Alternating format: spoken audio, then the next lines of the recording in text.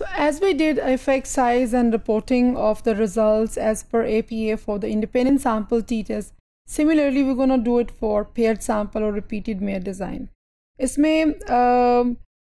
Effect uh, size uh, को report करने के लिए yes we will be using Cohen's D लेकिन कोन्स डी में simply we can we don't need to go to calculator rather we can just calculated by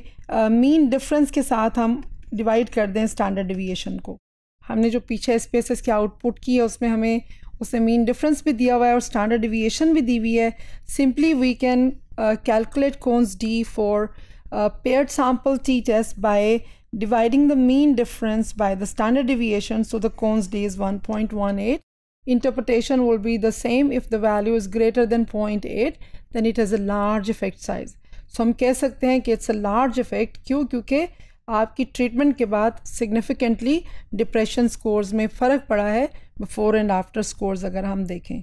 और reporting के लिए हम बिल्कुल उसी तरह से ही पहले वन और टू लाइंस डिस्क्रिप्टिवली स्टेट करेंगे कि pair sample t test was conducted to evaluate the impact of the intervention on participant scores on depression there was statistically significant decrease in the depression scores from before treatment और again आप उसका mean और standard deviation देंगे and after treatment उसका mean और standard deviation देंगे और फिर टी की वैल्यू देंगे और फिर उसको पी वैल्यू देंगे कि p is smaller than point zero five two tail test and then you will report the Cohen's d value which is one point one eight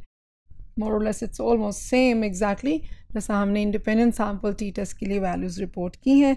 Um, और एंड पे हम बताएँगे the mean decreases in depression scores was three point six two um, with a 95% confidence interval ranging from 1.06 6.19 so these sare pieces of information important hai because when you are writing a manuscript or writing a thesis or reporting uh, the results in a research report uh, the reviewer or the audience or the people would like to know कि effect size कितना है confidence intervals कितने हैं mean standard deviation कितना है so they can get an idea कि आपकी किस हद तक मैग्नीट्यूड और स्ट्रेंथ है रिजल्ट्स के अंदर।